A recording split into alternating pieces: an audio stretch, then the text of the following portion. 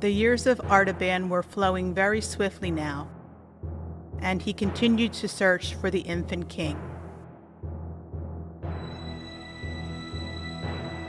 Artaban moved among the throngs of men in populous Egypt, seeking everywhere for traces of the household that had come down from Bethlehem, and finding them under the spreading sycamore trees of Heliopolis, beneath the walls of the Roman fortress of New Babylon beside the Nile.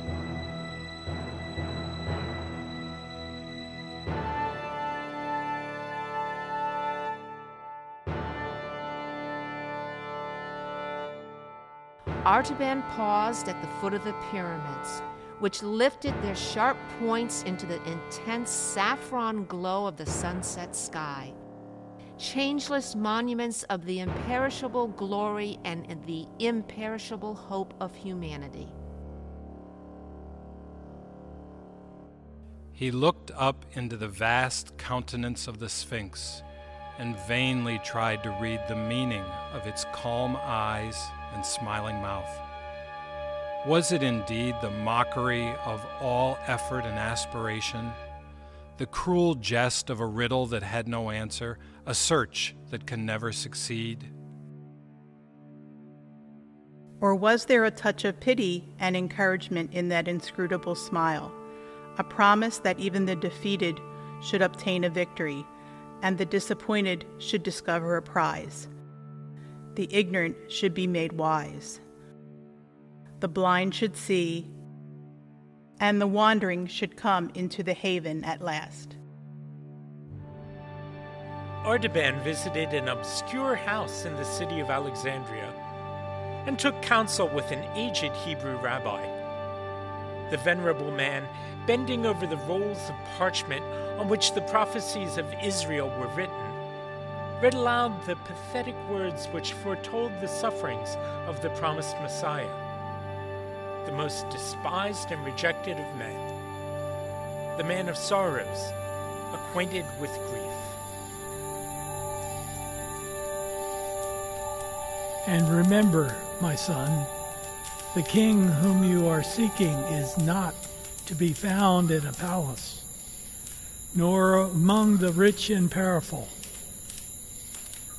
if the light of the world and the glory of Israel had been appointed to come with the greatness of earthly splendor, it must have appeared long ago. For no son of Abraham will ever again rival the power which Joseph had in the palace of Egypt, or the magnificence of Solomon thrown between the lions in Jerusalem. Rabbi, I don't quite understand. Tell me more.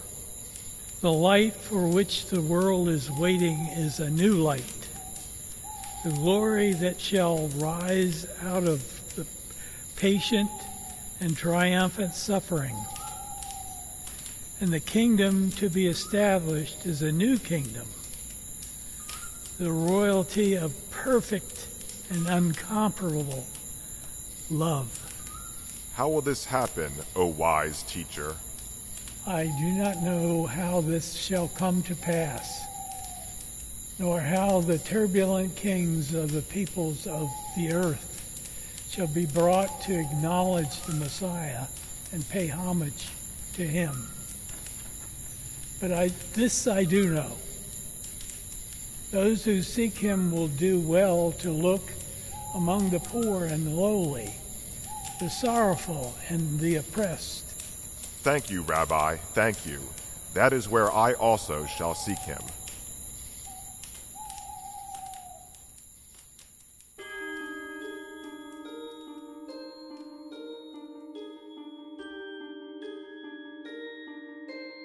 So Artaban traveled from place to place, searching among the peoples of the dispersion with whom the little family from Bethlehem might, perhaps, have found a refuge.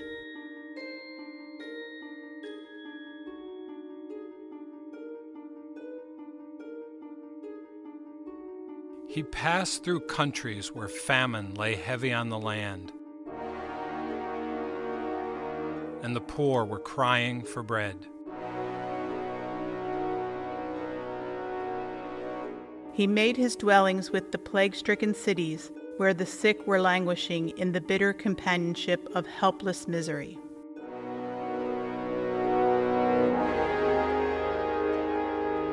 He visited the oppressed and the afflicted in the gloom of subterranean prisons and the crowded wretchedness of slave markets and the weary toil of galley ships.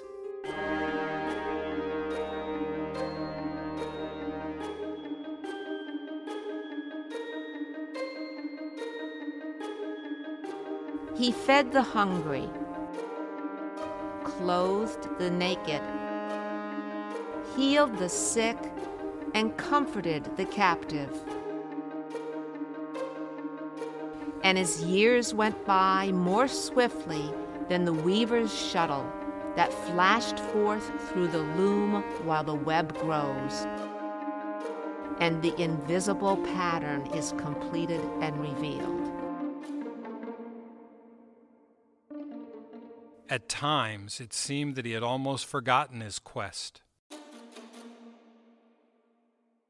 But once, at sunrise, Artaban was waiting at the gates of a Roman prison.